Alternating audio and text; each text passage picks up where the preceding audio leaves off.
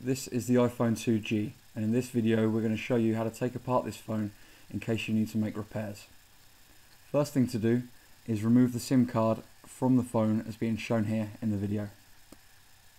If you don't have the SIM card tool, use a paper clip. Next, using a safe pry tool, run this along the back of the phone as being shown here and release the back cover.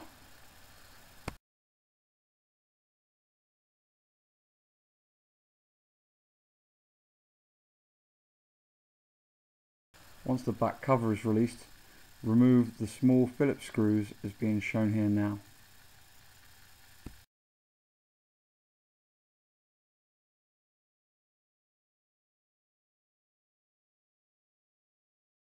Next, using a safe pry tool, run this along the edges of the phone, prying apart the clips, allowing you to release the back cover from the phone.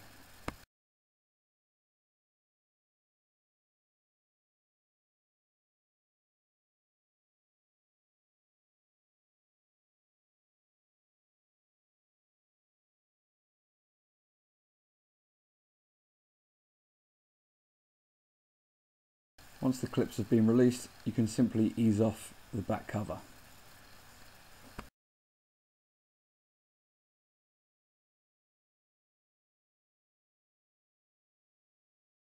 Be careful when removing the cover as it is still connected with a ribbon cable.